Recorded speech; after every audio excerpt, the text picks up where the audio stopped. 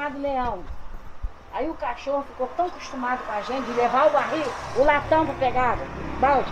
A gente botava no pescoço do, do, do cachorro, ele que levava o balde assim. Balde de querosene de 5 litros, sabe? Cheio d'água? Não, vazio. Chegava lá no poço, a gente tirava o balde do pescoço de leão, enchia o barril, o leão já estava pronto para levar o balde de volta. Como é que vocês época? Quantos turistas, menino, tirava a retada daquele cachorro? Tem? Isso tem quantos anos? Eu tô com 63, né? Eu tinha 13, 14 anos, né? 50 anos, né? Tem fotografia do leão? É nada. Naquela época a gente se preocupava com isso, é? Hein? Nada. Nada disso. E me diga uma coisa, como é que vocês traziam esse barril? Aí pegava um vergalhão mais ou menos da grossura de um dedo, enverga ele, né? Botava no barril, agora. Oh, oh, oh. Pegava o vergalhão e fazia um como? Fazia assim no vergalhão e no barril lá no final tinha um, um, um prego, com- um prego não, um vergalhão enfiado aqui. Aí esse vergalhão que a gente botava aqui, pregava aqui, ó. Pregava não. Botava assim, enfiava assim. Podia fazer um pra, pra coisa, né?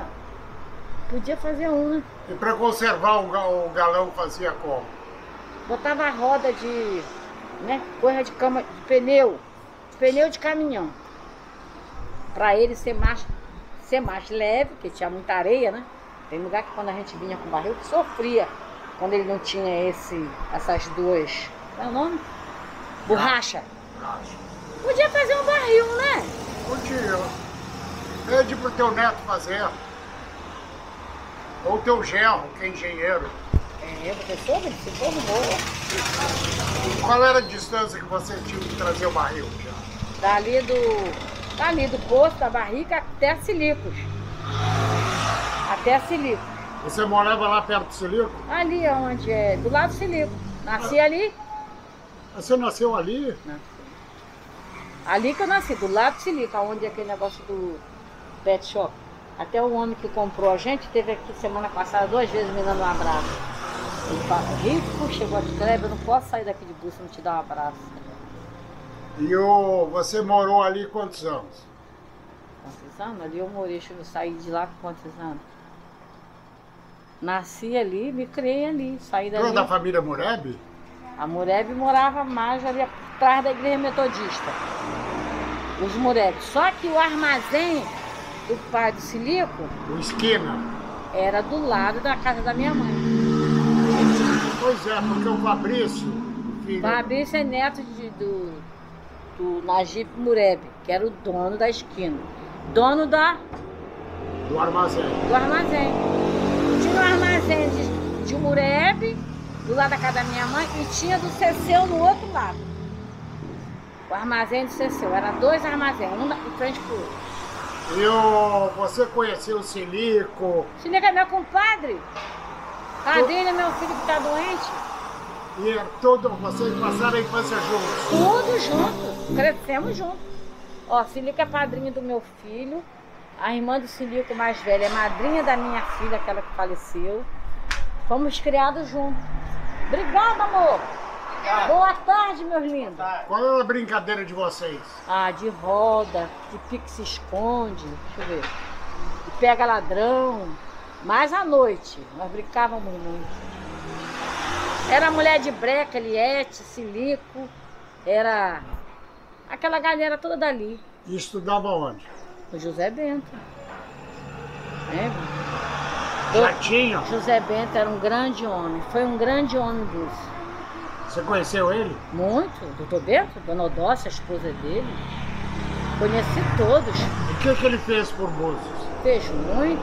Ele fez, fez o colégio. Você chega no colégio, está lá a foto dele. né? Era uma pessoa maravilhosa. Ele ia no colégio, todos nós, sim, cantava o hino nacional quando ele aparecia, né? E, e ele homenageava todas as crianças, fez a igreja católica. Depois o colégio ficou. Santa Rita foi ele que fez. Foi, fez a igreja católica. Depois a igreja sofreu, a escola sofreu um pouco de dano, ele reformou. E essa. A estrada, né? Quando ele morreu, ele morreu aqui, mas levaram o corpo Rio. Nós fizemos o enterro dele aqui, veio aviões do Cruzeiro do Sul, sabe? Veio aviões do Cruzeiro do Sul fazer homenagem a ele aqui em Búzios. Foi lindo. A Eu gente fui veio no aqui. enterro dele lá no Rio. Sério?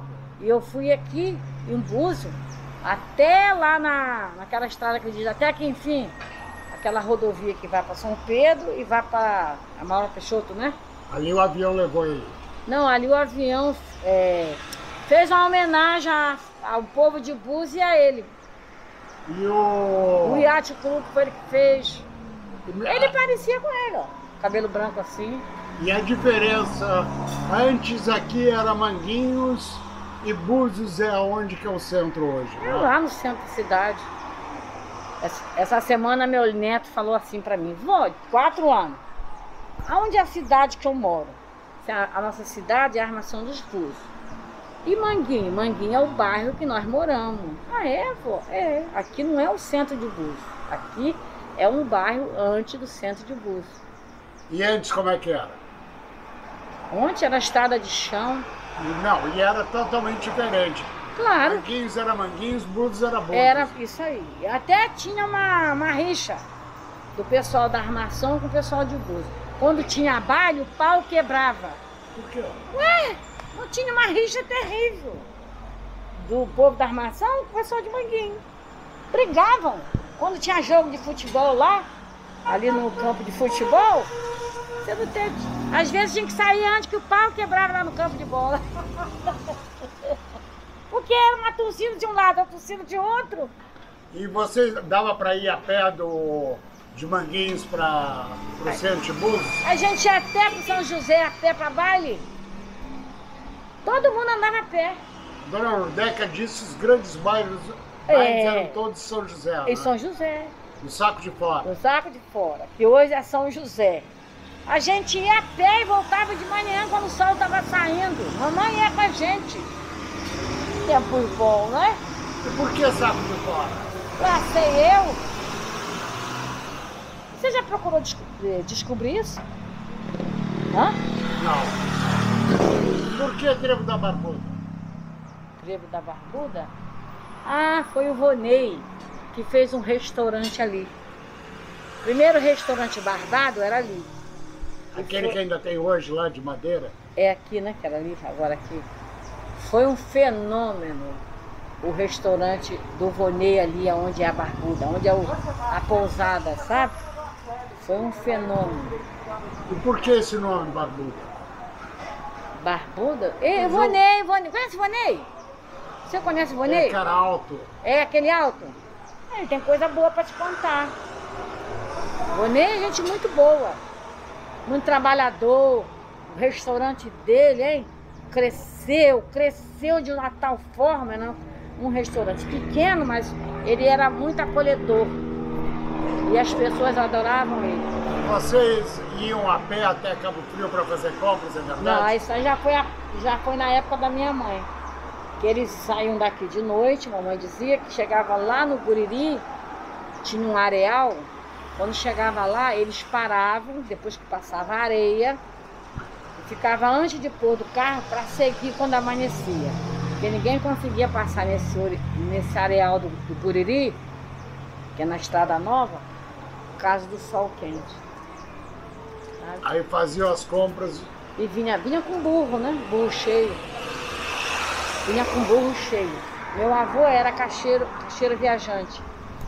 Levava nove burros carregados de peixe salgado para bicuda. Quer dizer que você era de uma família rica. É, quem era caixeiro naquela época, né? Meu avô foi, teve muito, teve muitos animais é, de carga. Ia para bicuda com uma besta que ele tinha muito boa e nove ca, ca, burro carregado. É burro, né? Burro é, é grande. Eu lembro que meu irmão ia com ele, é, os afilhados dele acompanhavam ele. Ele ia para bicuda levar peixe Aí ele trazia, que não era vender, ele trazia galinha, trazia feijão, trazia arroz, Não tinha dinheiro. não tinha dinheiro. O dinheiro era o alimento, trocava, né? Levava muito peixe salgado. É.